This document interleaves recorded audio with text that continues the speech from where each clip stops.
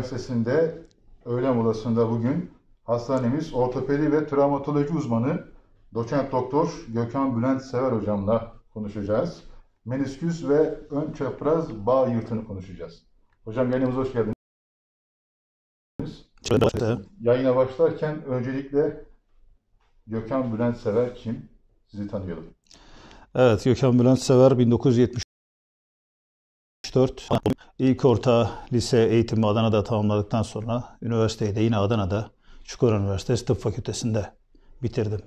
İhtisası Kartal Eğitim Hastanesi'nde İstanbul'da yaptım. E, askerlik ve bir süre Anadolu'da çalıştıktan sonra e, 2009 yılından itibaren Sanko e, Hastanesi'nde görev yapmaya başladım. Sanko Vakıf Üniversitesi kurulduktan sonra da akademik kadroda görev yapmaktayım. Yaklaşık ihtisasa baş bitirdikten sonradan itibaren diz cerrahisi, e, diz protezi, dizin kapalı ameliyatları, omuz ve ayak bileğinin kapalı ameliyatları e, konusunda e, uzmanlaştım. Son bir yıldır da ortopedik kas sistemi tümörleri e, konusunda çalışmalarımı devam ettirmekteyim beraberinde. Yani hem diz cerrahisi hem de tümör cerrahisini beraberinde devam ettirmekteyim. Hocam menisküsle başlayalım. Evet. Menisküs e, tanımı ve e, görevleri nedir? Evet, şimdi menisküs e, başka eklemlerde de menisküs benzeri dokular var ama esas menisküs deyince diz eklemi akla gelir. Diz eklemi uyluk kemiği, bacak kemiği, diz kapağından oluşan çok hareketli ve vücudun yükünü taşıyan bir eklemdir. Ve ciddi yüklenmelere maruz kalan bir eklemdir. Bu eklem içerisinde var olan bir yapıdır menisküs. Ee, elastik yapıdadır. Dokunduğunuz zaman lastik gibi bir elastikiyeti olan bir yapıdır. Ve güçlü bir yapıdır. Güçlü olması da gerekir. Ee, çünkü bütün vücudun yükünü hatta vücudun ağırlığından e, birkaç kat fazla yükü koşma ve zıplamalarda bu menisküs absorbe eder. Absorbe etmek bunu nasıl başarır? Bu elastik kıvamı ve bu dayanıklılığı mikroskopik olarak incelersek kolajen diye bir yapıdan oluşur. Tam bir kıkırdak da kolajenden oluşur. Ee, bu kolajen yapısı ilmik gibi birbiri içine girmiş iplikler şeklinde görülüp bir örümcek ağı gibi birbiri içine kenetlenen bir yapıdır. Bu onun dayanıklılığını artırır. Peki ne işe yarar menisküs? Menisküs az önce söylediğim gibi özellikle en önemli görevi dize ciddi yüklenmelerde işte bu sporda olabilir, normal vücut ağırlığı olur. Bu durumda e, basıncı dengelemesidir. Aksi takdirde eklem içinde kıkırdak hasarı ve kırıklar ortaya çıkabilir. Bir diğer e, önemli bir e, görevi ise diz ekleminde uyluk kemiği ile bacak kemiği arasındaki uyumu sağlamasıdır. Bu iki ana görev vardır menisküsün. Diz eklemi için son derece e, önemli bir dokudur. Hocam e, daha çok sporcularda duyuyoruz bu hastalığı ama sporcu rahatsızlığı mı yoksa herkeste görülebiliyor mu?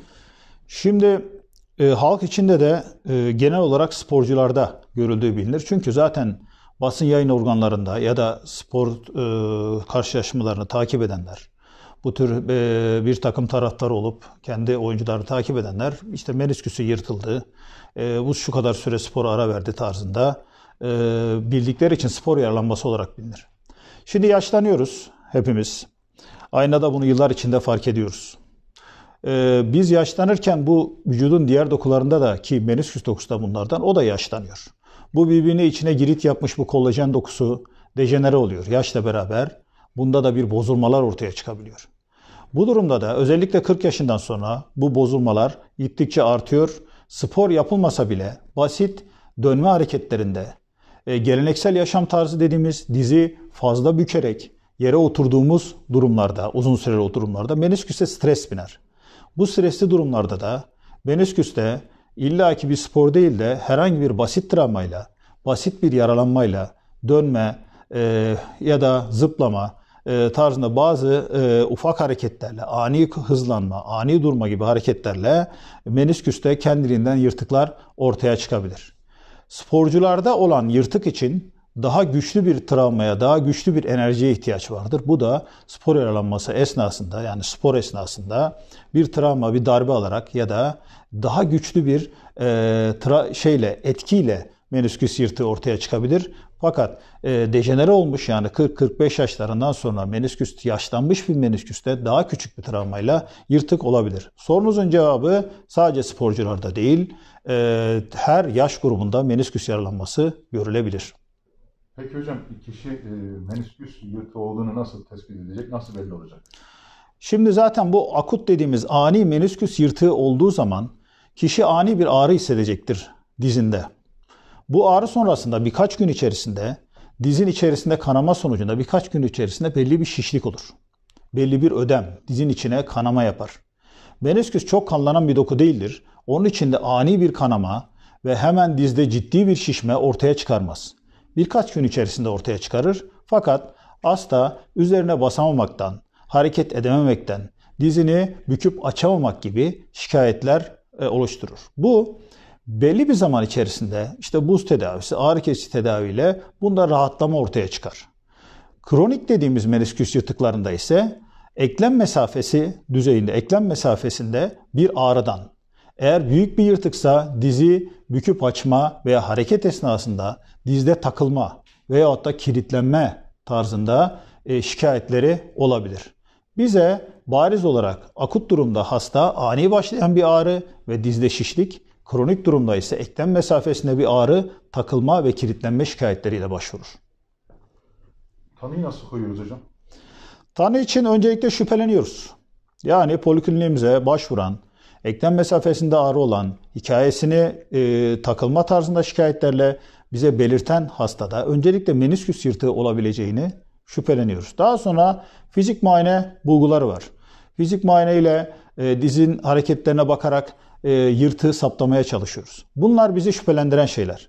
Peki gerçek tanı artık görüntüleme yöntemlerinin ilerlemesi, günümüzde teknolojinin özellikle sağlık alanında ilerleyip e, görüntüleme yöntemlerinin son derece e, ilerlemesi nedeniyle MR'la e, MR dediğimiz manyetik rezonans görüntüleme ile menisküs yırtığının teşhisini koymamız mümkün.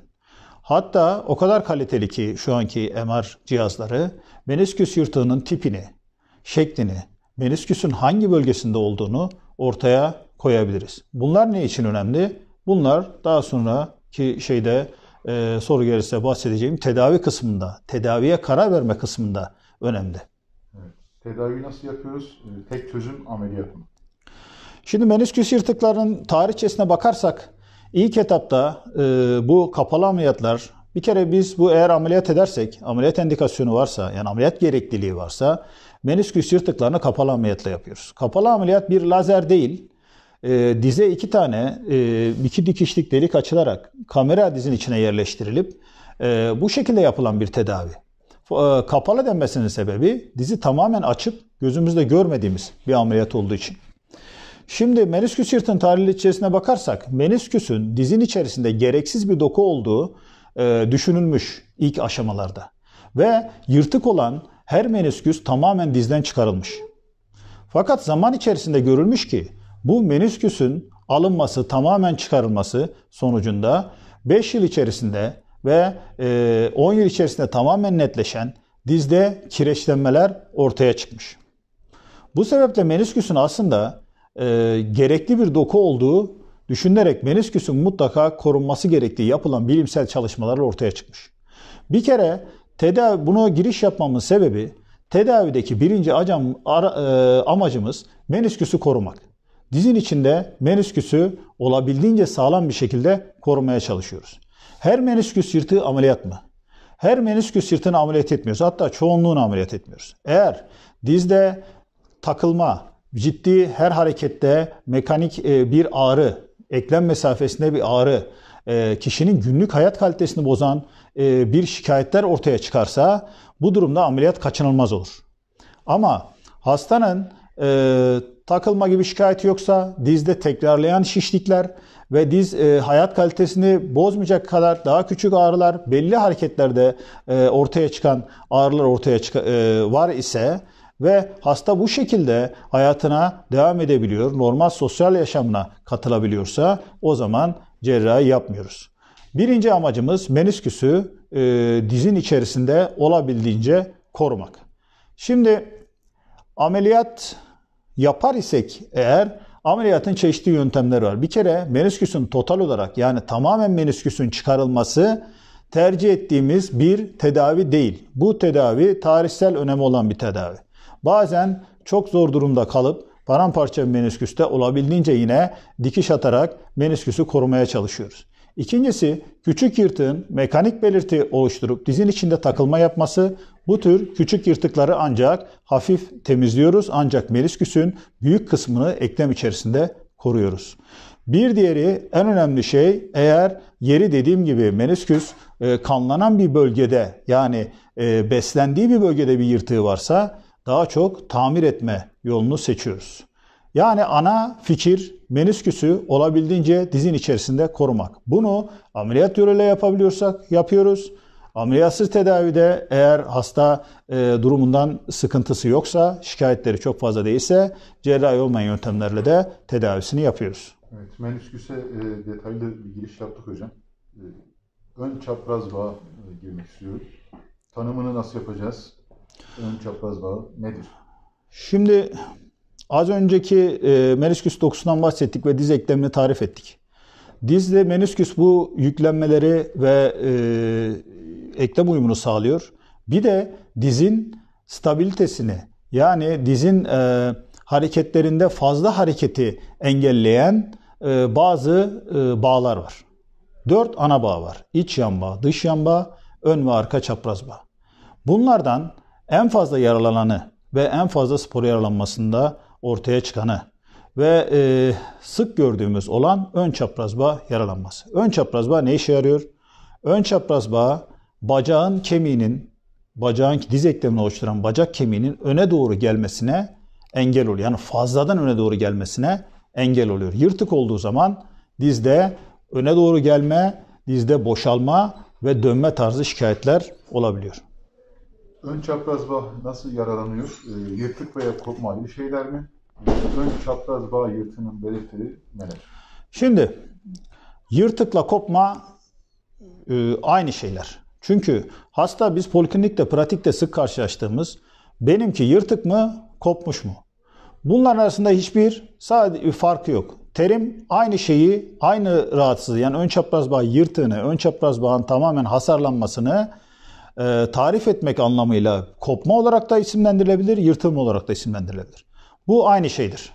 Yırtık ve kopma aynı şeydir. Belirtiler nelerdir? Bu da ilk olarak nasıl oluşur derseniz bir kere bu e, bunda da indirekt travma yani dize direkt bir çarpma tarzında değil de e, dizin dönmesi tarzında bir şekilde ön çapraz bağın fazla zorlanmasıyla ön çapraz bağın yırtığı ortaya çıkıyor.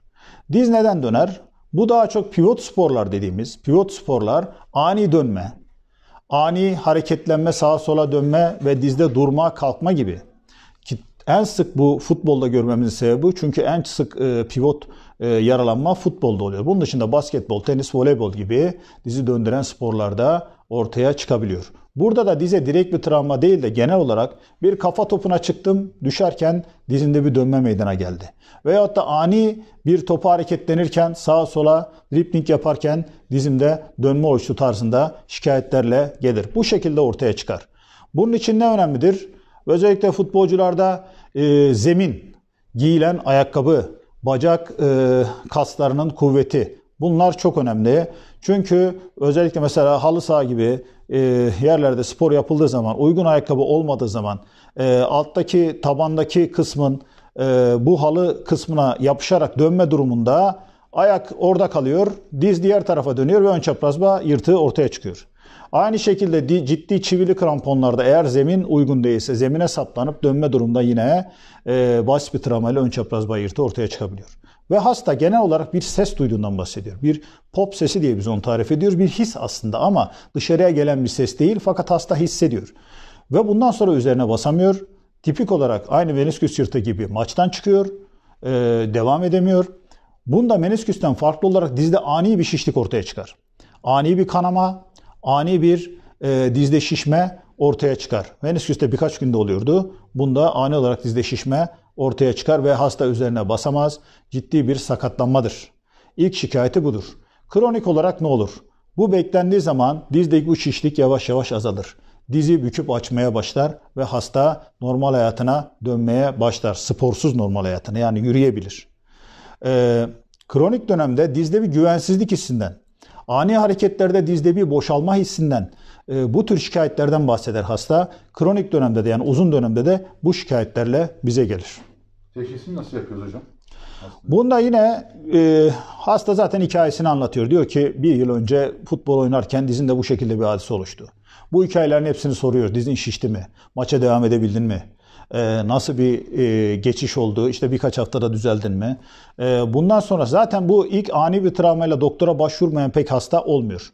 Akut durumlarda bunu görüp zaten dizdeki bu kadar şiştiği ve bu hikayeyi aldığımız zaman e, ön çapraz bağ teşhisinin büyük ihtimal oluştuğunu kafamızda e, yerleştiriyoruz. Daha sonra yine MR görüntülemesiyle e, bu ağrılı durumda ilk etapta o fizik muayene yapamıyoruz. Yani bazı önüne çekme vesaire testleri var ama bunlar çok ağrılı olduğu için fizik muayene yapamıyoruz. Kronik dönemde ise e, bazı muayenelerle hiç MR çekmeden fizik muayeneyle ön çapraz bant teşhisini koyabiliyoruz. Ama yine de MR'la e, görüntüleme yöntemiyle bunun e, teşhisini görüntüleme olarak ortaya koyuyoruz. Hocam teşhisi yaptık, tedavi sürecine geçtik. Ee, tek çözüm burada ameliyat mı? Ön çapraz bağda menisküsten farklı olarak tek çözüm yolu genç, aktif bir hastaysa ameliyattır. Ameliyattan başka çaresi yoktur.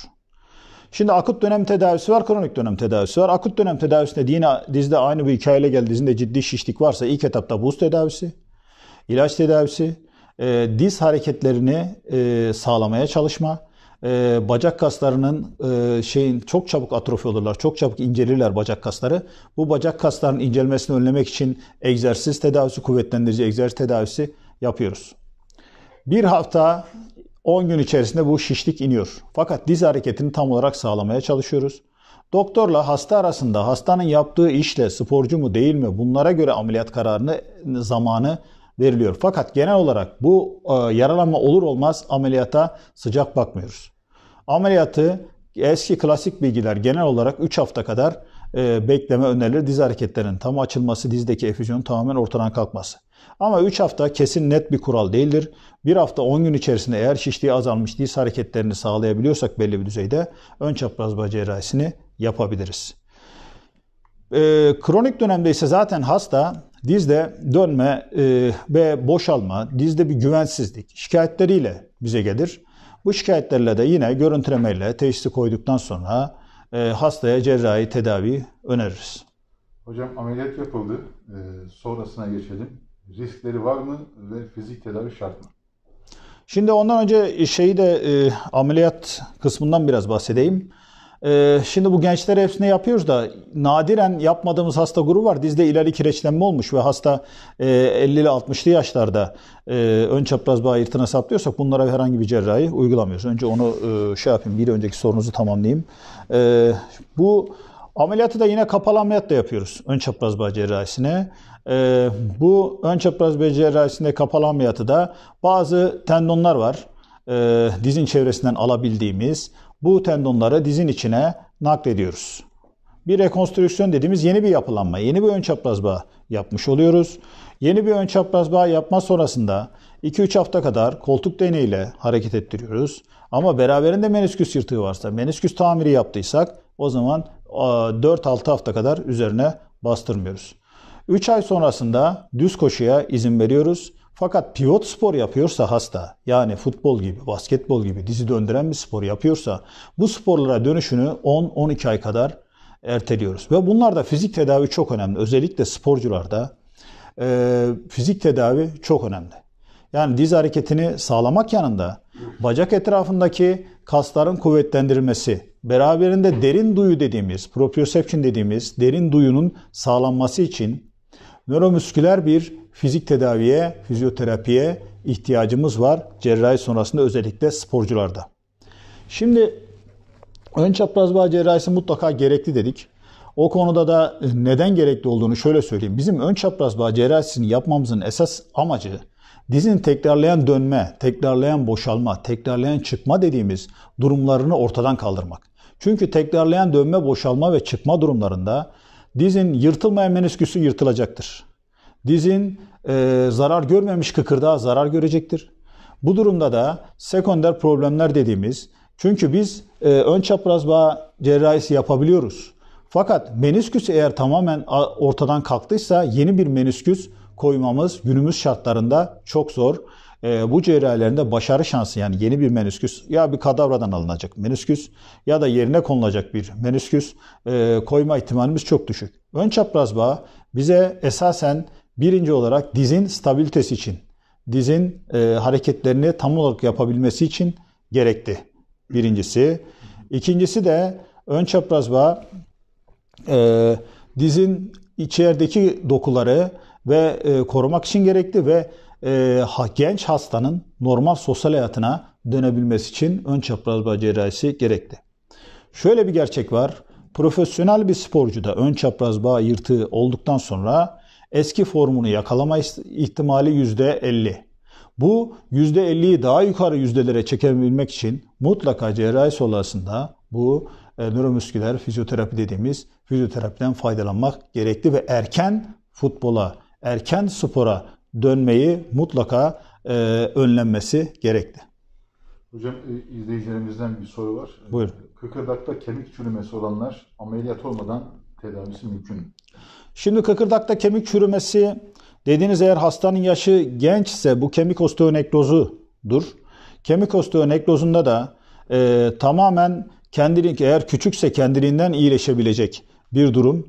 Bu durumda hiperbarik oksijen tedavisi ya da ozon tedavisi uygulanabilir. Ama ilerleyerek kıkırdakta tamamen dökülmeye yol açabiliyor. Bu zamanda eğer böyle dökülme ortaya çıktıysa ameliyat dışı bir tedavisi yok. Mutlaka ameliyat yapmak gerekir. Teşekkür ederim. Ama ileri yaşta zaten dizde kireçlenme olduysa, kıkırdak hasarı oluşmuşsa e, bunlara direkt kapalı ameliyat değil de farklı e, diz protezi gibi cerrahiler yapılabilir. E, hocam sporcu olmayan bireylerde evet. 50 yaş üstü menisküs ameliyatı sonrası e, hayata nasıl devam etmeli? Şimdi menisküsün ameliyatları değişiyor az önce söylediğim gibi. Her halükarda 50 yaşında da olsa eğer dizinde e, bunu yaşla aslında çok ilintilendirmiyor. Çünkü 50 yaşında olup hala aktif spor yapan insanlar da var. 50 yaşında olup sedanter yaşayan insanlar da var. 50 yaşında olup kıkırdağında hiçbir problem olmayan, 50 yaşında olup kıkırdağında ciddi kireçlenme olan hastalar da var. Eğer 50 yaşında menisküs cerrahisi yapılmış ise bu menisküs cerrahisi büyük ihtimal e, parsiyel menisektomi dediğimiz e, bu araya giren dizde kık, e, takılma yapan ya da ağrı yapan kısmın temizlenmesi anlamına gelir. Eğer menisküs az bir kısmı temizlenmişse e, normal hayatına bir, bir 3 hafta ve 4 hafta yani bir ay içerisinde dönmüş olması gerekir. Hocam teşekkür ederiz verdiğiniz bilgilerden dolayı. Süremizin sonuna geldik. E, bugün Sank Üniversitesi Hastanesi ortopedi ve travmatoloji uzmanı doçent doktor Gökhan Bülent Sever hocamla menisküs ve ön çapraz bağ yırtığını konuştuk. Sonraki yayınlarda farklı bir konukla buluşmak üzere. Hoşçakalın, sağlıklı günler. Teşekkür ederim.